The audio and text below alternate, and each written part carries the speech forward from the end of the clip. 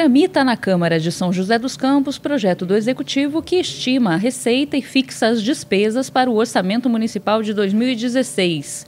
O projeto deve ser votado até 15 de dezembro. O presidente da Comissão de Economia, Finanças e Orçamento, vereador Carlinhos Chaca, comentou os números apresentados pelo secretário da Fazenda em audiência pública no Legislativo. O secretário mostrou uma situação é, difícil né, na economia, não só no Brasil, mas mundial, e vem mostrando aí a queda de arrecadação, a dificuldade de arrecadação, principalmente é, junto às indústrias. Então, nós precisamos apostar no setor de serviços de São José, para ter outros meios de arrecadação para compensar a queda na arrecadação do ICMS, principalmente. Só do ICMS, é, a nossa queda esse é, esse ano, né, já vai dar em torno de 50 milhões.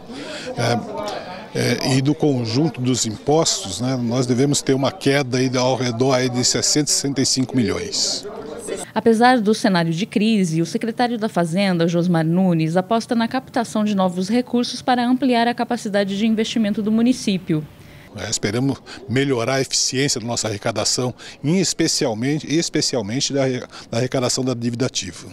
Ah, o município hoje tem cerca de 45 mil é, contribuintes que devem para o município, entre pessoa física e pessoa jurídica, que deve mais de um bi e meio para o município. Né?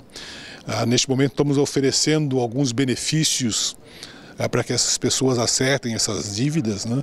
e é, se nesse momento estamos oferecendo benefícios, né, ao momento seguinte né, nós vamos usar todos os instrumentos possíveis para cobrar essa dívida. A previsão para 2016 é de um orçamento de 2 bilhões 762 milhões de reais.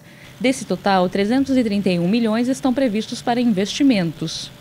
Para o presidente da Comissão de Economia, os principais investimentos previstos para o ano que vem estão garantidos. O ano que vem a prefeitura está apostando muito no BRT, é, também na Via Cambuí, como eu já mencionei, também é, construção de creche, é, nos parques municipais também. Então, apesar de todas essa, essas dificuldades, é, vias vão ser pavimentadas também. Então, a prefeitura já está se preparando aí para as obras do ano que vem. Então, posso deixar a população cegada que os serviços vão ser mantidos e também obras serão feitas para adequar aí tanto o sistema viário como, por exemplo, a ponte Maria Peregrina ligando Santana ao Teres Parque. A maioria das obras e investimentos previstos para 2016 serão tocadas com receitas previstas em operações de crédito.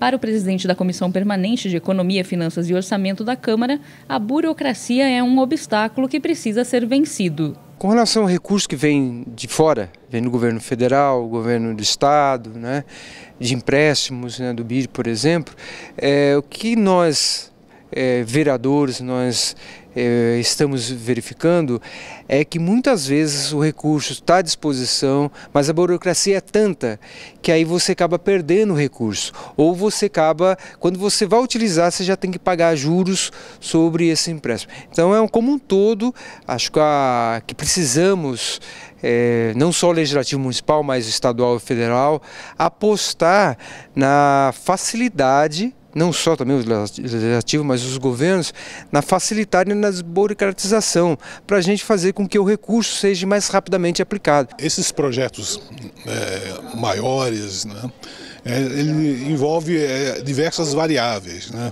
envolve o andamento de licenças, licenças ambientais, é, diversas licenças, envolve desapropriações, envolve detalhamento, projetos executivos, né? envolve licitações, quer dizer, diversas ações é, que tem que andar em conjunto né, para que o projeto, é, de fato, comece a fase operacional de obras, né, propriamente dito. É, e, infelizmente, né, esse ano ainda, vamos dizer assim, é, esses obstáculos para que a obra se inicie, se inicie ainda não foram todos superados. Né.